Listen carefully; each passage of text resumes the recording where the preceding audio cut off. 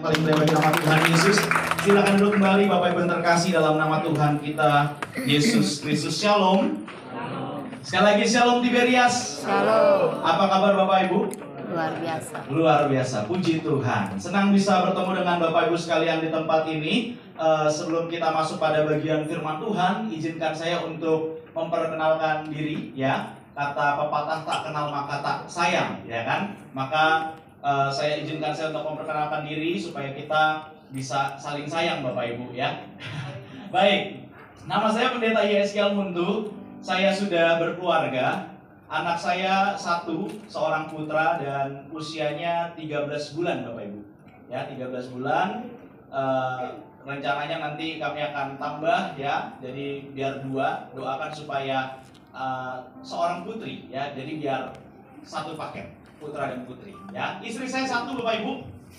Kalau istri nggak boleh tambah ya. Istri suami nggak boleh tambah, harus satu aja ya. Dan sedikit sedikit fun fact tentang diri saya. Saya dulu eh, pelayanan di sini Bapak Ibu ya. Jadi saya agak wow ya, agak amazed sendiri ya dengan kebaikan Tuhan. Dulu saya choir ya, saya choir di Tiberias Sinere di tempat ini, juga singer juga worship leader di tempat ini juga ibadah tengah minggu. Ya mungkin bapak ibu eh, di tempat ini yang mungkin jemaatnya udah lama udah bertahun-tahun di tempat ini mungkin sedikit kenal saya. Dan eh, banyak orang nih bapak ibu. Banyak orang bilang saya itu mirip pemain badminton ya. Jadi kalau misalkan bapak ibu lihat saya kok kayaknya familiar kok kayaknya ini orang kok nggak asing gitu kan mungkin bapak ibu suka nonton badminton ya. Eh, teman istri saya bilang sama istri saya terus teman-teman saya juga bilang sama saya lo mirip pemain badminton namanya Anthony Sinisuka Ginting ya jadi kalau misalkan bapak ibu lihat Ginting terus lihat saya mungkin agak mirip-mirip dikit. Dan hari ini juga final bapak ibu All England ya badminton. Karena saya dimirip-miripin jadi saya ikut follow Instagramnya Ginting maka kita doakan All England Ginting menang deh ya ya mau Ginting atau Jojo sama aja lah Indonesia bangga. Oke, baik kita masuk pada bagian firman Tuhan pada hari ini siang hari ini. Saya beri judul khotbah saya adalah senantiasa mengucap syukur. Ya, sekali lagi senantiasa mengucap syukur. Bagi Bapak Ibu yang suka mencatat boleh dikeluarkan catatannya. Hari ini eh, kita akan membahas senantiasa mengucap syukur. Baik, kita buka eh, Efesus 5 ayat 20. Ada dua ayat yang akan kita baca, Efesus 5 ayat 20 dan 1 Tesalonika 5 ayat 18. Saya baca terlebih dahulu, Efesus 5 ayat 20. Katakan demikian. Ucaplah syukur senantiasa atas segala sesuatu dalam nama Tuhan kita Yesus Kristus kepada Allah dan Bapa kita. 1 Tesalonika 5 ayat 18 katakan begini. Mengucap syukurlah dalam segala hal, sebab itulah yang dikehendaki Allah di dalam Kristus Yesus bagi kamu. Tadi kita baca di Efesus 5 ayat 20 ada kalimat begini. Ucaplah syukur senantiasa. Senantiasa itu dalam kamus besar bahasa Indonesia punya makna begini Bapak Ibu. Selalu, selamanya, tidak putus-putusnya setiap hari. Ya, senantiasa itu dalam kamus besar bahasa Indonesia katakan selalu, selamanya, tidak putus-putusnya setiap hari. Artinya apa? Mengucap syukur senantiasa menunjukkan keterangan waktu. Pagi-pagi kita bersyukur, siang hari kita bersyukur, malam hari kita bersyukur. Awal bulan kita bersyukur, tengah bulan kita bersyukur, akhir bulan kita bersyukur. Amin. Ya. Jadi senantiasa itu berbicara tentang waktu. Pagi-pagi bangun, ya bangun tidur kita doa, kita angkat pujian buat Tuhan. Selamat pagi Bapa, selamat pagi Yesus, selamat pagi Roh Kudus. Terima kasih atas anugerahmu semalam telah berlalu. Ku memuji ku bersyukur memuliakan namamu. Allah Bapa Putra Roh Kudus Terima kasih. Cukup, nanti lanjut lagi di kamar mandi rumah ya Bapak Ibu ya Sambil mandi. Jadi mengucap syukur senang senantiasa artinya berbicara tentang waktu. Pagi, siang, sore, malam, awal bulan, ya, akhir bulan, minggu ini bahkan minggu depan kita mengucap syukur. Nah, tadi kita juga membaca dalam 1 Tesalonika 5 ayat 18 katakan, mengucap syukurlah dalam segala hal. Kalau tadi senantiasa berbicara tentang waktu, segala hal artinya begini. Dalam segala hal punya makna, dalam situasi dan kondisi apa pun. Situasi dan kondisi apa pun kita mengucap syukur. Ya, usaha lagi lancar, kita mengucap syukur. Usaha lagi macet, kita mengucap syukur ya pekerjaan lagi baik-baik aja. Kita lagi dipromosi ya kita mengucap syukur.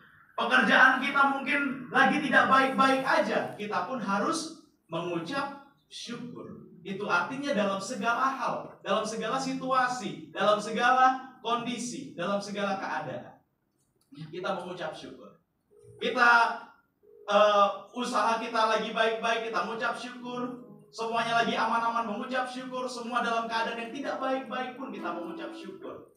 Kita punya uang satu-satunya, satu lembar 50 ribu. Kita jalan-jalan uangnya hilang, mengucap syukur.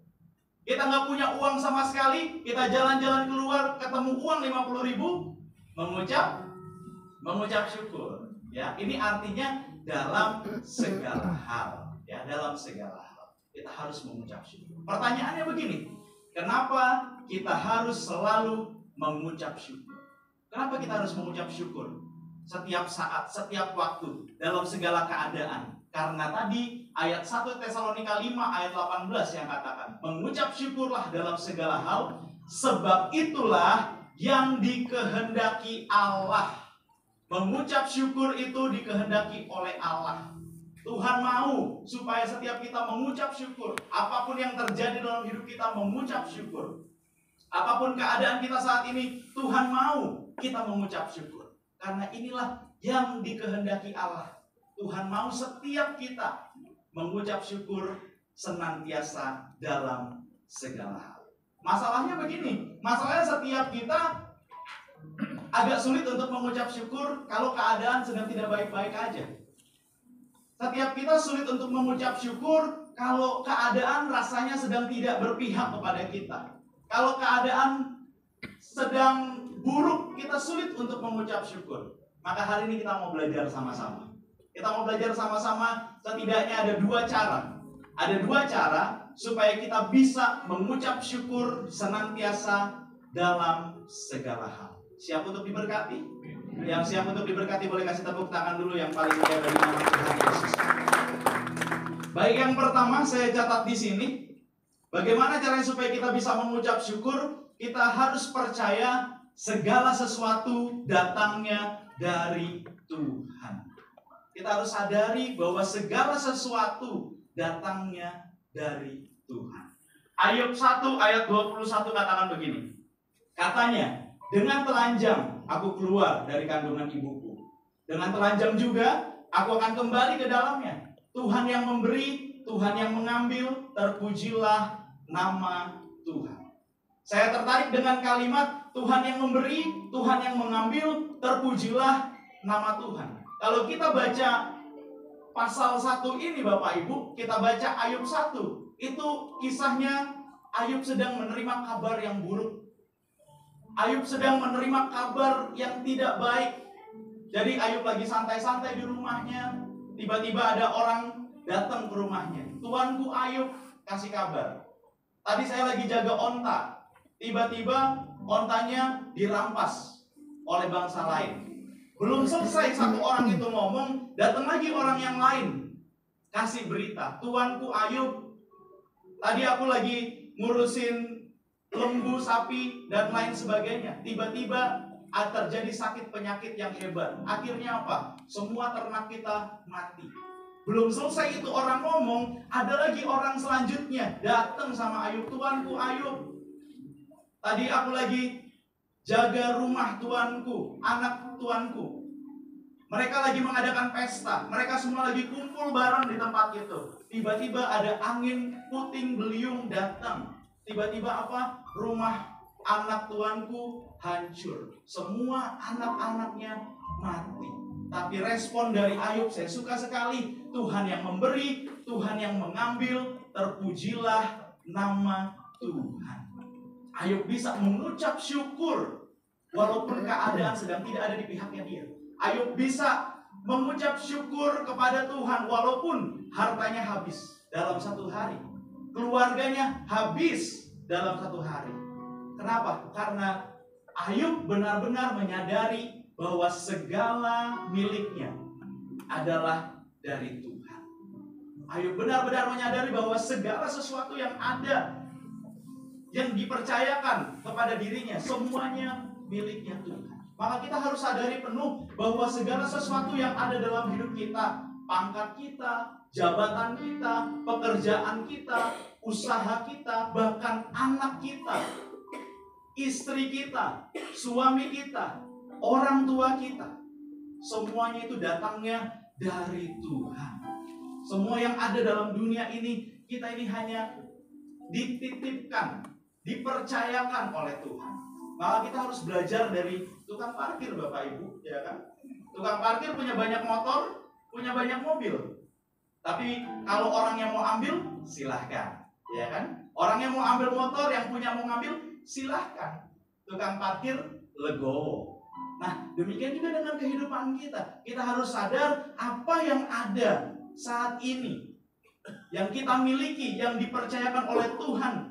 Semua itu datangnya dari Tuhan.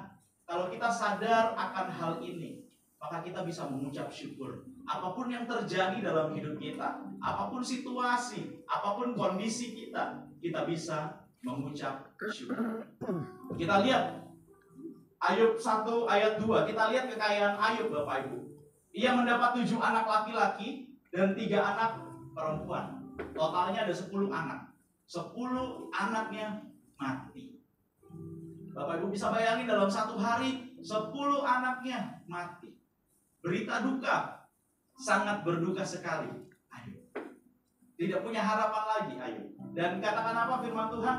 Ayub 1 ayat 3, ia memiliki 7000 ekor kambing domba, 3000 ekor unta, 500 pasang lembu, 500 keledai betina, dan budak-budak dalam jumlah yang sangat besar, sehingga orang itu adalah yang terkaya dari semua orang di sebelah timur. Ayub ini sultan, orang terkaya di sebelah timur. Saya sederhanakan, ada 7000 kambing domba, 3000 onta, 1000 lembu, 500 keledai dan budak-budak dalam jumlah yang banyak. Kalau kalau kita hitung onta aja Bapak Ibu ya, ada 3000 onta. Kalau kita uangkan dengan rupiah, kemarin saya cek di Google, harga onta belasan juta. Ya, kita pukul rata aja 10 juta. Ini udah 30 M sendiri Bapak Ibu onta. 30 M. Onta itu berbicara tentang transportasi pada masa itu. Artinya seperti kita punya mobil saat ini hilang semua. Kalau saya total semua ini sekitar 50 miliar belum rumahnya. Belum rumahnya. Habis dalam satu hari. Tapi apa respon Ayub? Tuhan yang memberi, Tuhan yang mengambil, terpujilah nama Tuhan. Dan saya mau kasih tahu buat Bapak Ibu sekalian di tempat ini, Alkitab katakan begini, ada seorang laki-laki di tanah Us bernama Ayub. Orang itu apa? saleh dan jujur. Ia takut akan Allah dan menjauhi kejahatan. Kalau dipikir secara logika, dia orang yang takut Tuhan. Dia yang suka mempersembahkan korban bakaran untuk Tuhan. Secara logika, Ayub bisa aja kecewa sama Tuhan. Ayub bisa aja gak datang lagi beribadah kepada Tuhan. Dia bisa datang sama Tuhan, Tuhan, aku kan udah beribadah sama Tuhan. Tuhan, aku kan udah memberikan korban bakaran buat Tuhan. Aku orang yang jujur, aku orang yang saleh, aku orang yang takut sama Tuhan. Tapi Ayub tidak lakukan itu. Ayub tidak menjadi kecewa. kepada Tuhan. Padahal dia punya hak, punya hak. Bahkan istrinya, istrinya apa? Katakan apa? Istrinya bilang kutuki Allah. Udah tinggalin aja Tuhanmu. Buat apa? Udah nggak ditolong lagi kok. Tapi apa? Respon dari Ayub, Ayub katakan begini. Tetapi jawab Ayub kepadanya, engkau berbicara seperti perempuan gila. Apakah kita mau menerima yang baik dari Allah, tetapi tidak mau menerima yang buruk? Dalam kesemuanya itu, Ayub tidak berbuat dosa dengan bibirnya. Saya menarik uh, dari kalimat ini, apakah kita mau menerima yang baik dari Allah, tapi tidak mau menerima yang buruk? Maka kalau ada sesuatu yang buruk terjadi dalam setiap kehidupan kita, percayalah, itu semua atas seizin Tuhan. Kalau kita sadar hal ini, maka kita bisa mengucap syukur dalam segala situasi, dalam segala keadaan.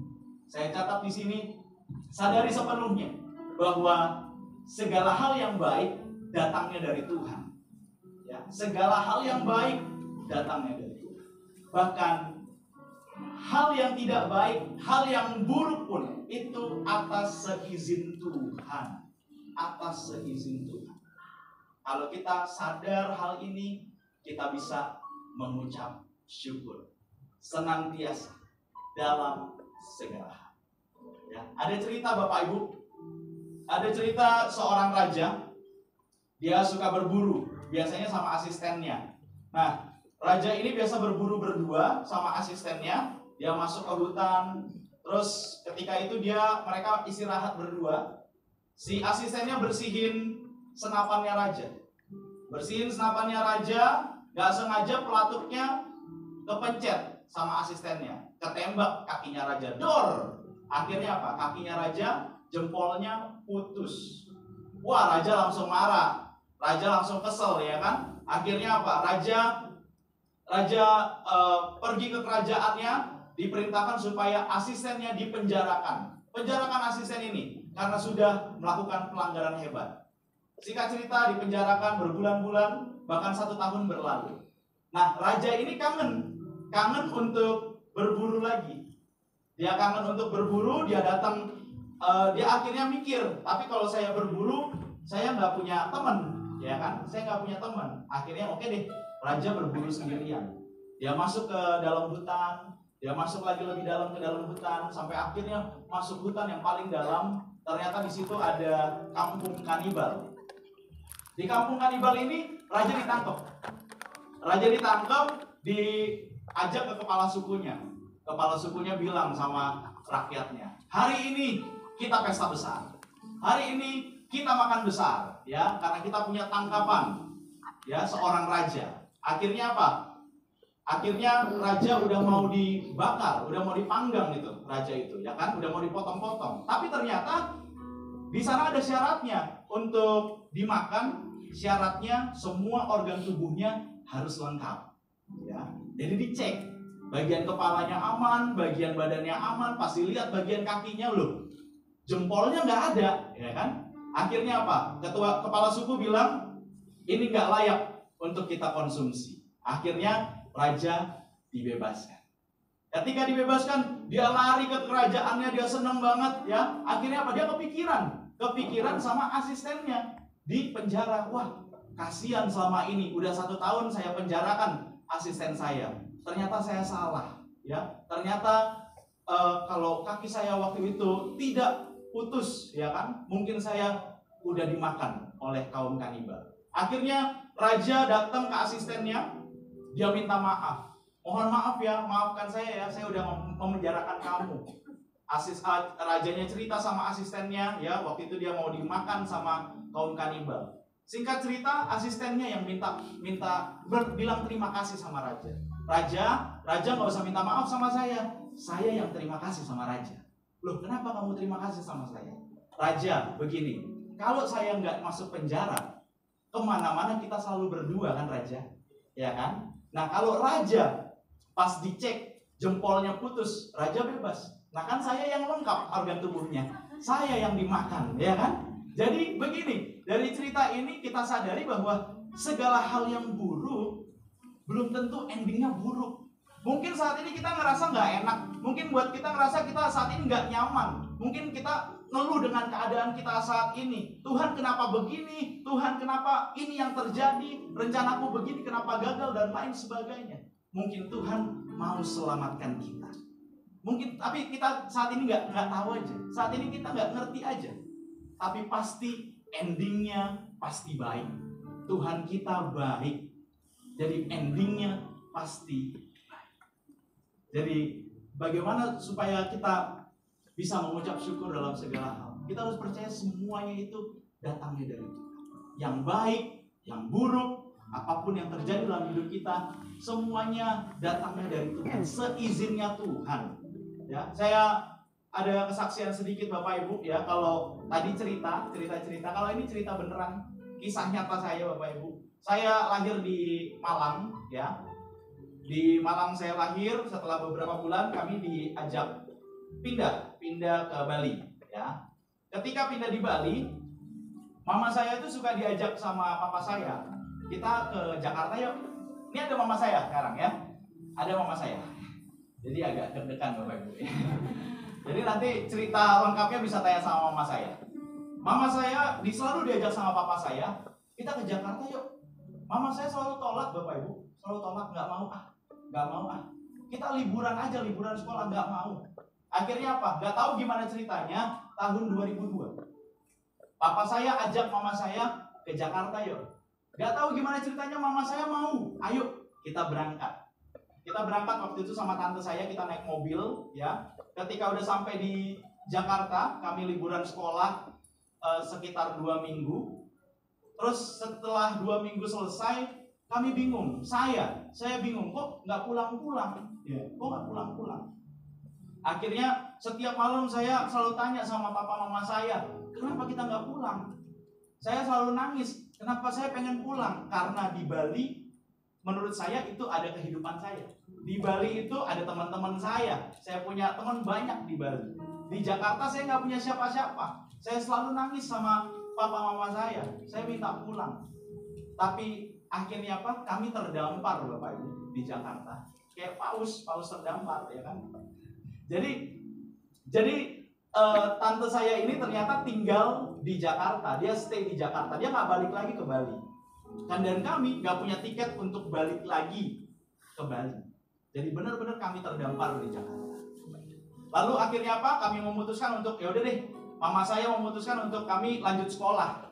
Lanjut sekolah di Jakarta. Kami sekolah kami bingung, kok kami nggak pulang-pulang ke Bali. Singkat cerita, tahun 2002, akhir eh, tahun, ya, akhir tahun, ada berita yang mengebarkan, ya kan, bom Bali satu, bom Bali satu. Mungkin buat se, uh, buat sebagian orang hal itu hal yang hal yang apa ya teror aja ya teror biasa aja. Tapi menurut kami satu keluarga hal itu sangat besar dampak Kenapa? Karena hampir setiap malam mama saya selalu ada di situ, nongkrong di situ, papa saya selalu ada nongkrong di situ, ya. Akhirnya apa? Kalau kalau kami waktu itu bisa pulang ke Bali, mungkin saat ini saya, kakak saya udah jadi yatim piatu. Maka Tuhan buat kita ngerasa nggak enak, nggak nyaman, nggak tahu gimana ceritanya. Mama saya mau ke Jakarta itu untuk menyelamatkan kami. Maka hari ini kalau apa pun yang kita alami, apa pun yang ngerasa kita ngerasa nggak enak, nggak nyaman buat kita, percayalah, endingnya pasti baik. Endingnya pasti baik untuk setiap kehidupan. Tapi puji Tuhan, mama papa saya udah tobat bapak ibu ya. Jadi udah meninggalkan dunia gelap ya. Nanti cerita lengkapnya sama mama deh ya. Oke, jadi itu yang itu yang pertama. Itu yang pertama. Kita harus sadari, percaya, segala sesuatu datangnya Yang kedua, yang kedua yang terakhir ya, yang kedua saya catat di sini bagaimana kita bisa mengucap syukur senantiasa dalam segala situasi dan dalam keadaan apa pun. Jangan membanding-bandingkan keadaanmu. Jangan membanding-bandingkan kehidupan kita. Ya, jangan bandingkan kehidupan kita. Bahasa Jawanya ojo dibandingin. Ya, ada tuh lagunya. Ojo dibanding. Jangan membanding-bandingkan keadaan. Keluaran 16 ayat 2 katakan begini. Di padang gurun bersungut-sungutlah segenap jemaah Israel kepada Musa dan Harun. Ayat 3 dan berkata kepada mereka, "Ah, kalau kami mati tadinya di tanah Mesir oleh tangan Tuhan, ketika kami duduk menghadapi kuali berisi daging dan makan roti sampai kenyang. Sebab kamu membawa kami keluar ke padang gurun ini untuk membunuh seluruh jemaah ini dengan kelaparan." bangsa Israel membandingkan kehidupannya di padang gurun dan di Mesir. Akhirnya apa? Mereka selama di padang gurun mereka bersungut-sungut. Padahal kalau kita tahu di padang gurun Tuhan pelihara bangsa Israel. Di padang gurun mereka selalu melihat mujizat demi mujizat terjadi. Di padang gurun Tuhan tidak pernah meninggalkan bangsa Israel, tapi karena mereka membandingkan kehidupannya ya membandingkan keadaannya maka akhirnya apa? Mereka tidak bisa bersyukur atas apa yang sudah Tuhan berikan atas kehidupannya. Mereka selalu membandingkan kalau kami dulu di Mesir kami punya makanan banyak dan lain sebagainya. Mereka membandingkan keadaan hidupnya sampai akhirnya mereka tidak bisa bersyukur maka hari ini jangan pernah membandingkan keadaan kita jangan pernah membandingkan hidup kita dengan apa pun dengan siapa. Tapi cukupkanlah diri kita dengan apa yang ada pada kita. Cukupkan diri kita dengan apa yang ada. Puaskan diri kita dengan apa yang ada pada kita. Ya, firman Tuhan katakan Ibrani 13 ayat 5. Janganlah kamu menjadi hamba uang dan cukupkanlah dirimu dengan apa yang ada padamu. Karena Allah telah berfirman, aku sekali-kali tidak akan membiarkan engkau dan aku sekali-kali tidak akan meninggalkan engkau. Ada kalimat cukupkanlah dirimu dengan apa yang ada padamu. Milikilah rasa puas dalam hidup kita. Milikilah rasa cukup dalam kehidupan kita. Saya catat di sini, milikilah rasa cukup. Rasa cukup membuat kita tidak membandingkan keadaan kalau kita punya rasa cukup, kalau kita punya rasa puas, kita tidak akan membandingkan kehidupan kita dengan siapa kita tidak akan membandingkan keadaan kita dengan siapa. Rasa cukup, rasa puas artinya bukan ah saya punya pekerjaan begini-gini aja ya udahlah. Bukan seperti itu. Itu namanya nyerah. Ya, saya punya motor ya udahlah. Pakai ini aja motor aja cukup kok, puas kok. Bukan seperti itu. Maknanya di sini artinya adalah kita punya rasa cukup, kita punya rasa cukup puas, artinya apa? Apa yang sudah kita miliki, kita rawat, kita jaga, kita hargai. Apa pun yang ada saat ini, kita hargai dengan baik. Kita rawat dengan baik. Pekerjaan kita, apa pun pekerjaan kita, kita kerjakan dengan baik kerjaan kita. Kita jaga dengan baik kerjaan kita. Jangan kita ngelihat, wah orang itu udah dipromosi itu. Saya kapan ya? Tapi ayo, miliki rasa cukup. Miliki rasa puas. Dan terus, terus berusaha di tempat kerjaan kita. Kita hargai, kita rawat dengan baik. Kalau kita sudah bisa dipercaya dalam hal kecil, percayalah firman Tuhan yang katakan. Kalau kita bisa dipercaya dalam hal kecil, maka Tuhan akan kasih perkara yang besar. Kalau kita punya motor, kita bisa jaga, kita bisa rawat, kita ke bengkel satu bulan sekali, atau dua bulan sekali, ganti oli, dan lain sebagainya. Ya, kita rawat sebaik-baiknya motor kita. Pasti Tuhan lihat kok, wow, udah bisa dipercaya nih orang untuk upgrade dari roda 2 jadi roda roda tiga dulu Bapak Ibu ya kan roda tiga dulu enggak langsung roda empat kalau udah bisa menjaga apa yang kita miliki kita bersyukur apa yang kita miliki kita puas dengan apa yang kita miliki kita punya rasa cukup percayalah Tuhan itu pasti lihat Tuhan pasti lihat dan Tuhan pasti berkati kita lebih lagi. Di pekerjaan kita kalau kita jaga dengan baik, kita rawat pekerjaan kita dengan baik, promosi pasti datang dari Tuhan. Maka ini kita harus miliki rasa puas dalam setiap kehidupan kita. Jangan membandingkan keadaan kita dengan orang lain. Jangan bandingkan keadaan kita. Setiap orang punya perjuangannya masing-masing. Fokus pada perjuangan kita. Fokus pada arena pertandingan kita sendiri. Ya, jangan sampai kita melihat tetangga beli kulkas baru, ya kan? Kita senggol, Pak, lihat tuh Pak. Tetangga beli kulkas baru tuh. Kita di rumah yang kedinginan Bapak Ibu, ya kan? Tetangga beli kulkas baru, kita yang kedinginan. Tetangga beli motor baru, dipanasin motornya breng, breng, breng, breng. Kita yang kepanasan. Ya, maka jangan pernah membandingkan hidup kita. Miliki rasa puas. Saya tutup dengan sebuah cerita. Jadi ada sebuah cerita uh, tukang batu, ya Bapak Ibu, dia lagi pecah-pecahin batu karang. Ketika itu ada matahari, panas terik, dia siang-siang ngerjainnya. Dia keringetan, tukang batu ini keringetan, terus dia lihat, wih, enak juga ya jadi matahari, bisa menerangi seluruh dunia. Akhirnya apa? Tiba-tiba dia jadi matahari. Loh kok bisa jadi matahari? Namanya juga cerita Bapak Ibu ya. Dia jadi dari matahari, nggak lama setelah jadi matahari, tiba-tiba ada awan gelap menutupinya. Ketika awan gelap menutup, dia melihat wah enak juga nih jadi awan gelap, bisa menutupi sinar matahari. Kemudian apa? Dia jadi awan gelap itu. Ketika dia jadi awan gelap itu, hujan turun. Ketika hujan turun, awan gelapnya hilang. Dia pikir, wah enak juga jadi air ya, jadi air hujan. Hebat juga bisa menghilangkan awan gelap. Akhirnya dia jadi air. Ketika dia jadi air, dia ada di suatu lautan, dia bikin ombak yang besar sekali. Terus tiba-tiba dia menemukan ada sebuah batu karang. Dia bikin ombak yang besar sekali, dia hempaskan ombaknya ke batu karang itu. Der. Wih, benda apa itu kuat banget. Ya kan? Kok udah kena ombak nggak pecah. Akhirnya apa? Dia mau jadi batu karang itu. Ketika dia jadi batu karang, diangkatlah batu karang itu dari laut, dibawa ke suatu tempat, tiba-tiba dia bunyi, dia dengar bunyi kolpak, kolpak. Dia lihat, wah, ternyata batu karang tuh bisa kalah sama tukang batu itu. Akhirnya apa? Akhirnya dia kembali lagi jadi tukang batu.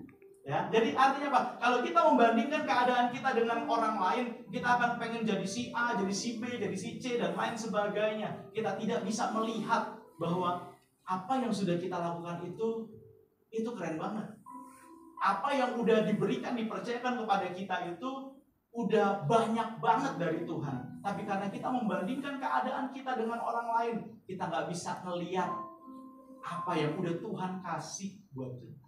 Maka jangan pernah bandingkan kehidupan kita dengan orang lain. Saya tutup dengan kesimpulan saya undang pemain musik. Kesimpulannya begini, mengucap syukur senantiasa dalam segala hal ya sangat memungkinkan. Ini sangat mungkin terjadi. Jadi nggak ada alasan untuk wah saya nggak bisa mengucap syukur pak. Uh,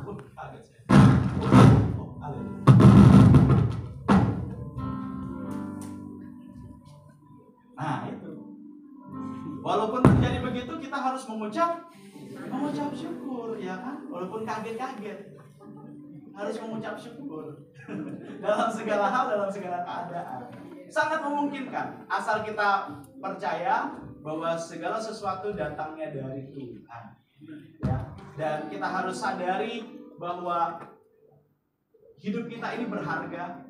Ya apa yang sudah ada apa yang sudah menjadi yang sudah Tuhan percayakan dalam hidup kita ini udah sangat banyak maka jangan pernah bandingkan keadaan kita dengan orang lain selamat hari Minggu Tuhan Yesus pasti memberkati. Kita berikan tepuk tangan yang paling meriah Tuhan Yesus. Sama-sama kita bangkit berdiri.